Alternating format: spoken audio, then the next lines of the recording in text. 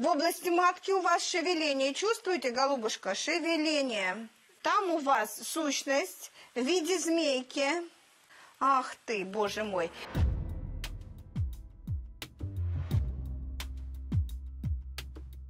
Маги, колдуны, экстрасенсы. Кажется, они существуют на протяжении всей истории человечества.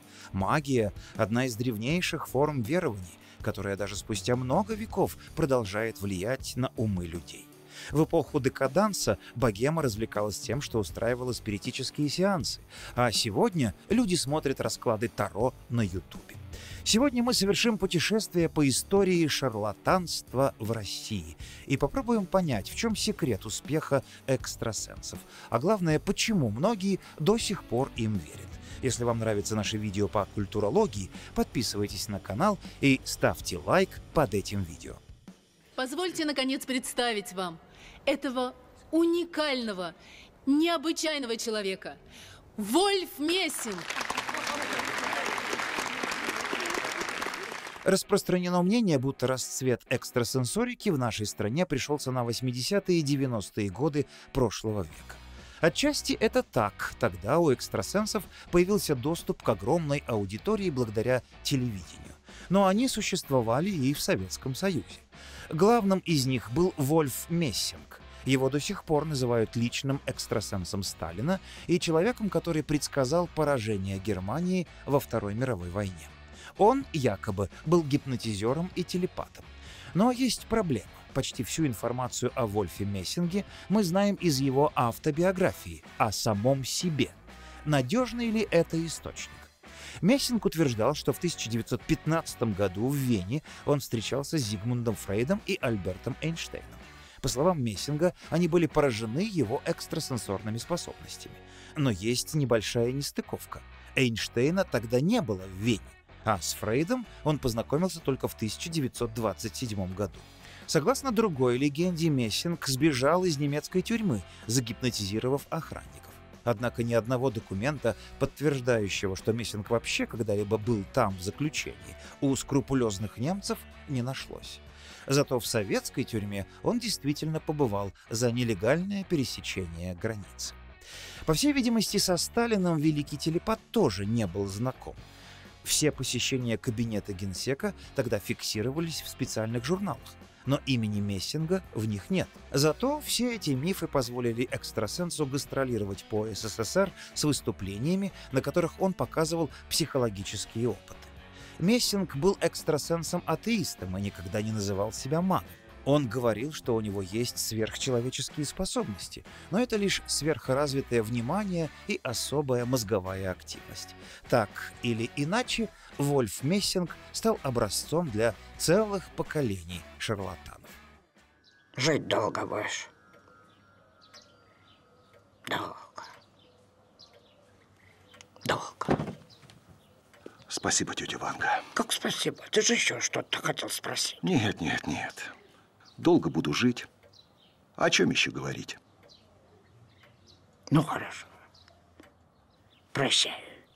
Даже официальные СМИ до сих пор часто используют оборот «Ванга предсказала». Хотя Ванга была болгаркой, мало где она обрела такую популярность, как в России. Согласно основной версии, в 12 лет она потеряла зрение, когда из-за жуткого урагана в ее глаза попал песок.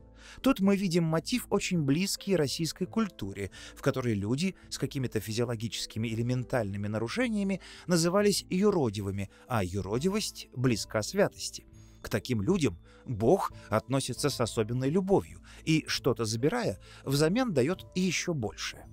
Так Ванга предсказывала будущее, лечила людей и даже пророчила международные потрясения. Ванга считается едва ли не самой результативной ясновидящей. Но как это работает? Во-первых, далеко не все предсказания Ванги задокументированы. Представьте, что вы сделаете тысячу пророчеств, и из них сбудутся пять. Конечно, именно о них расскажут журналисты, а остальное быстро забывается. Второй момент — расплывчатые формулировки. Это секрет успеха любого провидца. Человек сможет найти в пространном предсказании что-то, что покажется ему верным, а на детали не обратит внимания. Наконец, третье — феномен самосбывающихся пророчеств. Это работает так. Когда у людей есть какая-то установка, она может влиять на их решение.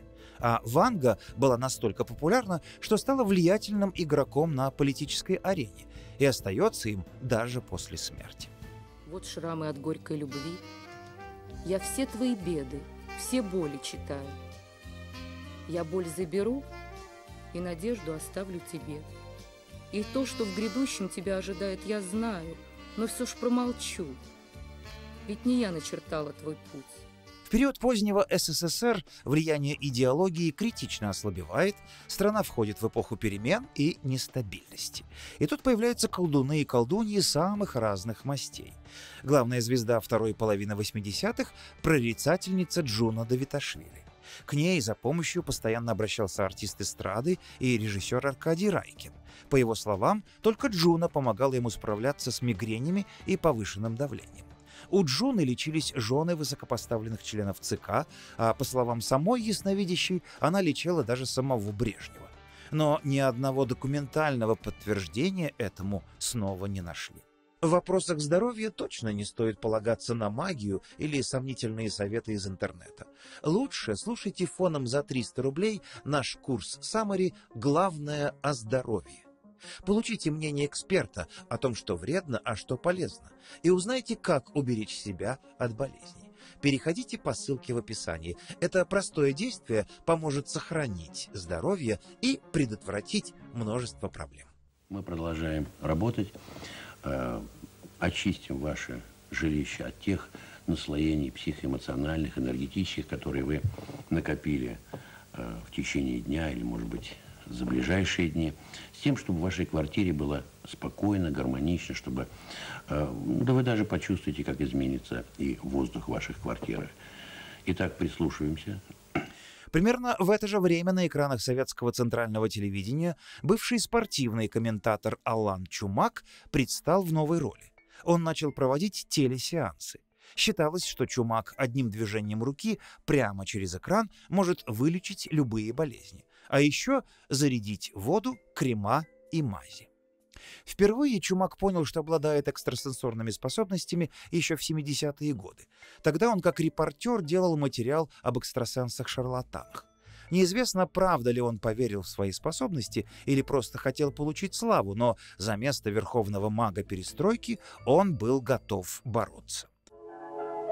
Не старайтесь мне помочь и не старайтесь быть дисциплинированным исполнителем. Просто вы присутствуете здесь, то ли в зале, то, то ли у себя дома, но мы как бы с вами вместе. И того факта, что сейчас мы с вами вместе, и я веду вас по тропе излечения, вполне достаточно. Но лечение психотерапевтическим способом, оно резко отличается от лечения другими способами. Если все остальные способы экзогенные и приходят извне, Наш способ лечения должен прийти изнутри. Его главным конкурентом стал Анатолий Кашпировский. У него, в отличие от других целителей, было медицинское образование. Он окончил университет по специальности психиатрия. Кашпировский утверждал, что первый телесеанс он провел на год раньше Чумака и обвинял того в плагиате. В ответ Чумак заявлял, что от сеансов Кашпировского люди сходят с ума и заканчивают жизнь самоубийством. Однако Кашпировский быстро набрал популярность, а вместе с ней пришли и очень высокие доходы.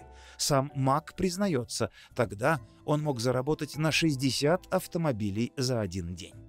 Его программа шла по воскресеньям в прайм-тайм, а коронная фраза «даю установку» стала известна практически всей стране.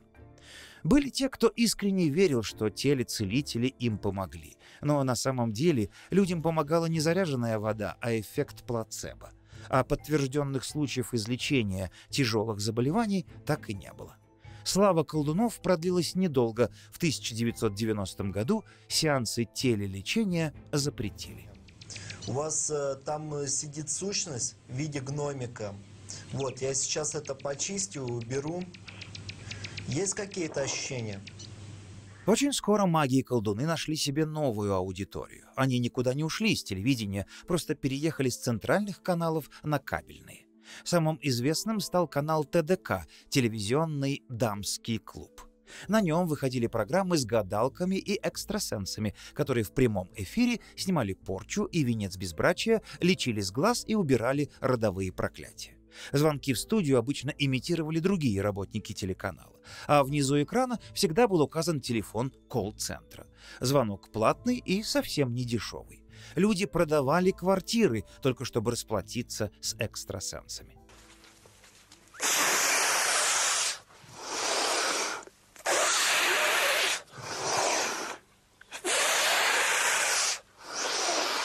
Казалось бы, все эти телемаги должны были уйти вместе с 90-ми. Но в 2007 году на федеральном канале ТНТ вышел первый сезон «Битвы экстрасенсов».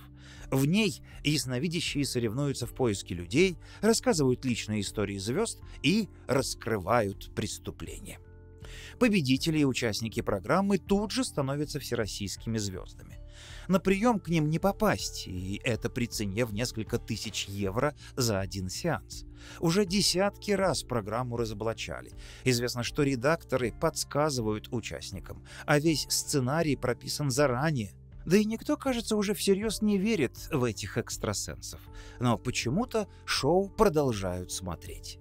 Сегодня ясновидцам и целителям не нужно даже идти на телевидение. Делать расклады Таро и лечить людей теперь можно через социальные сети. Кажется, что в современном мире не может быть места гадалкам, тем более, что еще ни один экстрасенс не доказал свои способности в условиях чистого эксперимента. Почему же им до сих пор верят? Здесь есть целый набор факторов. Например, психологические – когда человек оказывается в ситуации сильного стресса, ему сложнее мыслить критически, и вот он уже переводит сотни тысяч рублей целителю из ТикТока. Но есть и социальные факторы, например, низкое доверие официальным институтам, включая медицину. Врачам веры нет. Такой аргумент часто используют те, кто прибегает к услугам экстрасенсов. Иногда интерес к сверхъестественному — это обычная потребность в чуде. Что-то паранормальное кажется более интересным и привлекательным, чем обыденная жизнь. Но главное, экстрасенсы предлагают простые решения. Не нужно долго и мучительно решать свои проблемы, ведь можно просто снять с глаз, и все наладится. Однако важно помнить, что такой поиск волшебной таблетки часто может стоить не только денег, но и здоровья. Мы не предлагаем вам волшебную таблетку. Пять минут прикладывайте наши курсы к голове и станете самыми умными. Но мы точно экономим ваше время и деньги. Смотрите наши курсы Summary и получите готовое экспертное мнение по любому предмету.